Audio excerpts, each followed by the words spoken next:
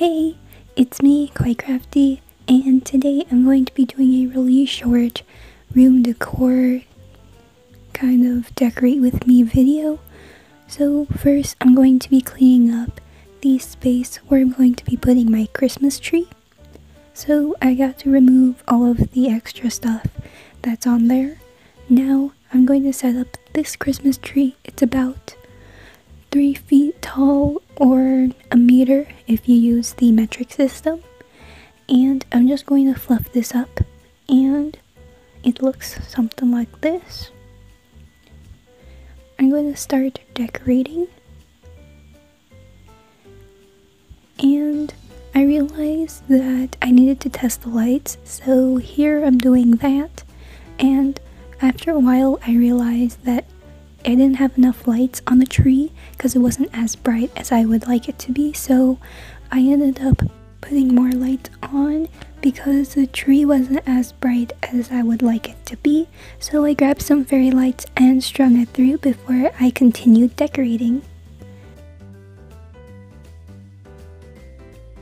So I decided to put up a star on the top since it's a Christmas tree and why not? So I grabbed it, the star and placed it. Then I realized that the tree was kind of tilted, so the star is tilted and it looks weird, but oh well. So this is what the tree looks like. Here are my fairy lights that are blinking. I also placed some Santas on each side. There's a 2017 and a 2018 collectible from Michaels. I didn't get the 2019 Nutcracker because they ran out. So yeah. Now I have to deal with this wall art that's been sitting in my room for two months and I haven't changed it. So I just got rid of it. Well, just took it off the wall and decided to replace some hooks because they were coming off since the adhesive's not that great anyways.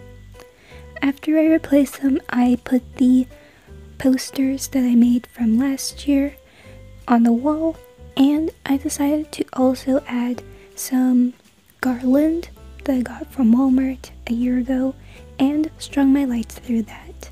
And this is what it looks like.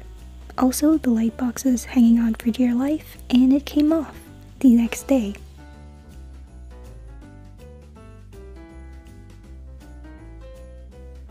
So I decided to grab the Christmas tree shaped lights that my dad put in the Christmas tree box and place the batteries that he also put in there. Thank you. And now I'm going to try these and they look pretty cute. So I'm gonna hang these on my bookshelf and let's go. So this is what it looks like.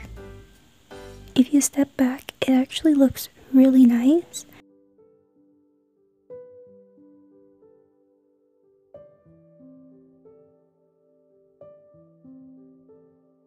If you guys are looking for some wax melts for the holiday season, I recommend these cinnamon scented ones from Michaels. The wax is really easy to cut because it's really soft and the scent lasts for a really long time, so I highly recommend it. And that is it for this video.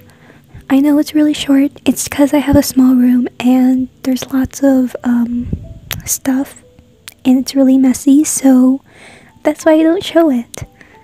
I hope you guys like this video. Thumbs up if you do, and if you don't, then give me a thumbs down.